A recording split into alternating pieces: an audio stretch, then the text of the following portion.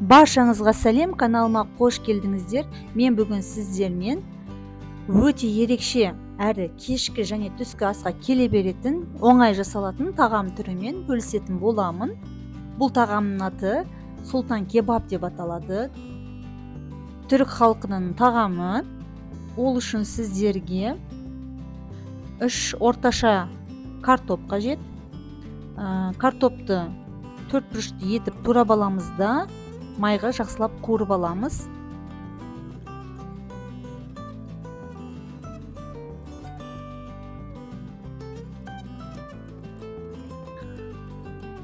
Картоптарымызды қуырып алдық. Енді кезек пиязда бір үлкен пиязды аламыз да төрт бүріштілеп тұрып тураймыз.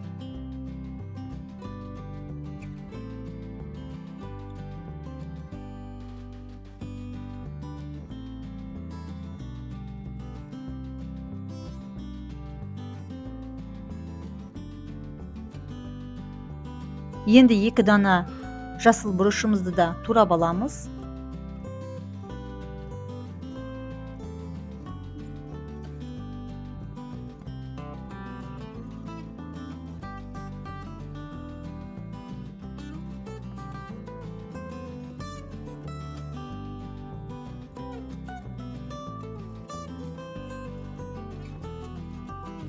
Артынша екі үлкен қызанағымызды да төрт бүріштілеп тұрып тураймыз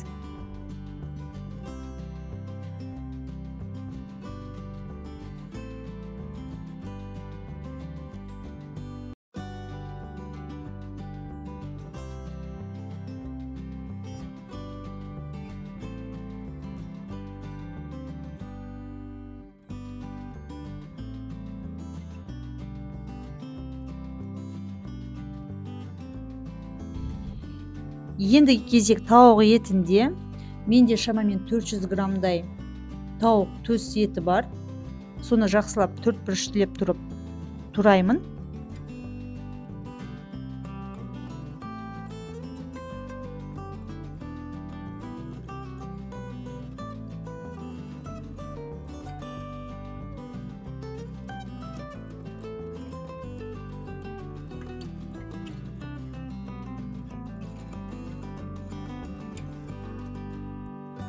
Енді қызып тұрған табаға тауық етін қуырып аламыз. Май ештеңе қоспаймыз әзірше.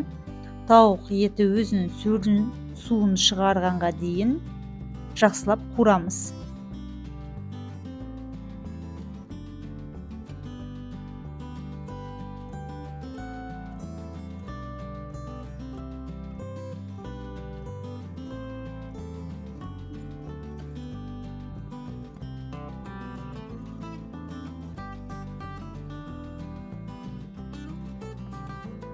Мінекей еттің сөлі бөлініп шықты.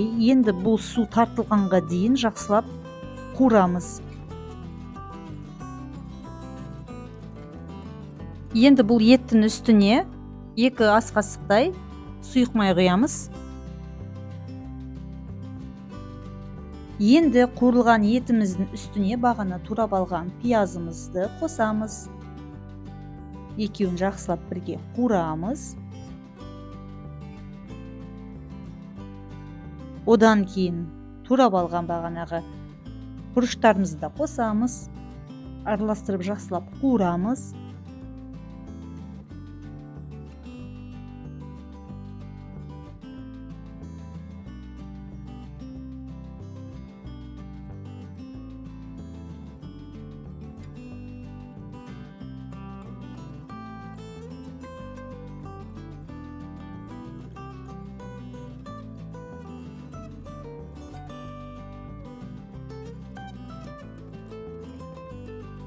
Енді туралған қызанақтарымызды да қосамыз.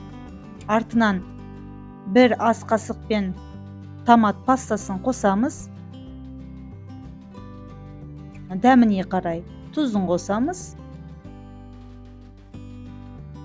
Одан әрі дәмдеуіштерді қосамыз. Мен алдымен тұздан кейін паприка қостым. Одан кейін орегано қостым. Одан кейін қара бұрышын қосып жақсылап араластырдым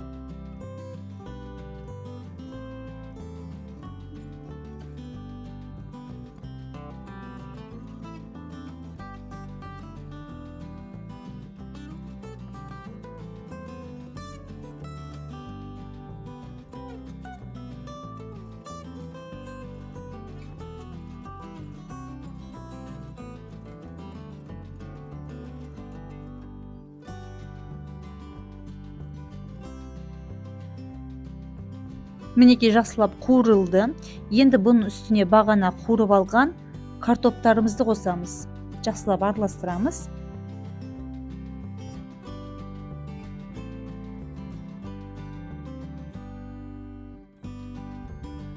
Енді бір дана осындай жайма қажет. Осындай бөліктерге бөліп аласыз. Егер мұндай жайма болмайтын болса қолдан да жасауға болады. Ә, кәдімгі қамыр сияқты илейсіз де артынан ашар кезде жайған кезде көп ұн қосып өте жұқа етіп жаясыздар. Одан кейін мұны кептіресіздер. Артынша ә, бір целлофанға салып ә, тоңазытқышқа салып қоясыздар. Енді бір кесені аламыз да қамырды ішіне төсейміз. Одан әрі ішіне салмасын саламыз да жақсылап жауып ә, противень ішіне тіземіз барлығын осылай жасап шығасыздар. Ә, егер қамырларыңыз жыртылып жатса ештеңе етпейді. Ә, бірнеше қамырды алып жамауға да болады.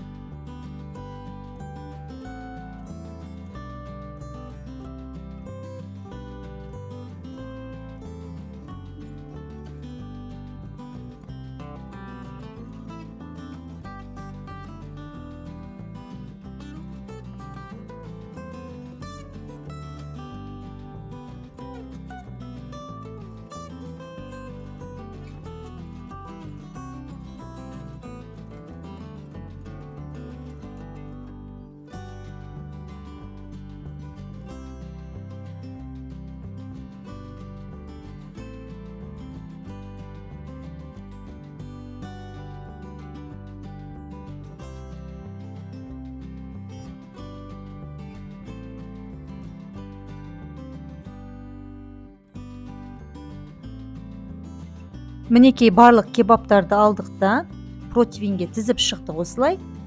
Енді бұның үстіне құятын бешамель соусын жасаймыз. Енді бешамель соусын жасауға кірісеміз. Алдымен екі ас қасық сұйық майды кішкентай қазанымызға құйып аламыз. Артынша екі ас қасықпен сары майды саламыз да ерігенге дейін жақсылап араластырамыз. Сары майымыз еріп болғаннан кейін екі ас қасықпен. Ұн қосамыз да ешқандай комок болмайтындай қиыршық болмайтындай жақсылап араластырамыз. Біркелкі масса болу керек. Масса біркелкі болып шыққаннан кейін бір жарым стақанмен сүт құямыз.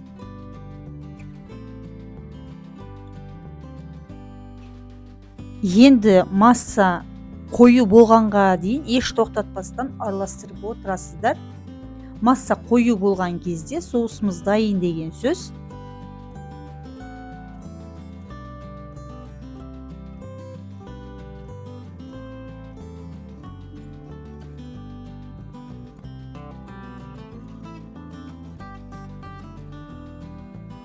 Астын өшіреміз де кішкене суға қоямыз. Суытып болғаннан кейін ә, кішкене дәміне қарай тұз және қара бұрышын қосамыз да жақсылап араластырамыз.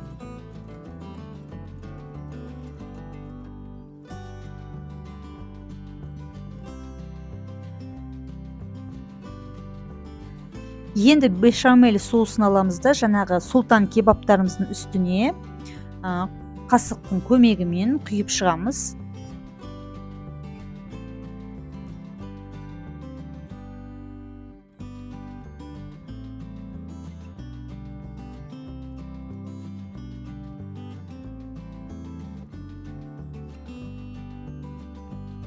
Енді алдын ала ысытылған 180 градус духовкада шамамен 15-20 минуттай пісіреміз. Енді тағамыз піскенге дейін сырды теркадан өткіземіз. Бұл сыр бізге кебаптардың үстіне себу үшін қажет болады.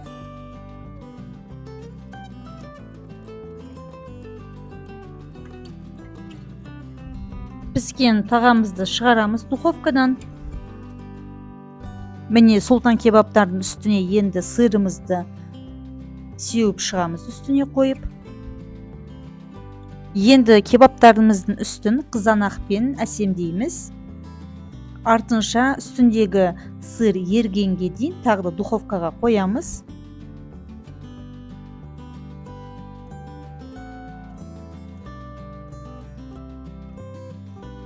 Мінекей тағамыз дайын болды. Үстіндегі сыры жақсылап еріді.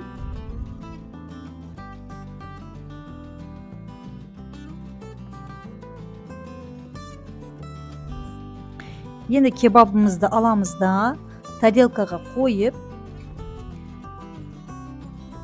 петрушка және укроппен осылай қылдырып әсемдеп ұсынамыз тағамыз дайын болды сіздерге ас болсын видеоларыма лайк басып каналыма тіркеліп және қоңырауша белгісін басуларыңызды ұмытып кетпеңіздер мен тек қана рецепттермен емес сонымен қатар стамбулдағы өмірмен де бөлісемін. Видеоны соңына дейін қарағандарыңыз үшін рахмет. Көріскенше.